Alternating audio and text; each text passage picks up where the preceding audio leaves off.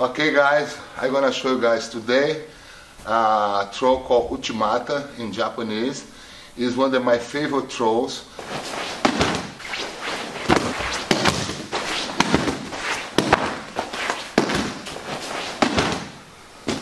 Essa é minha boa. Esse é teu lado bom, né? É claro. Esse é o melhor.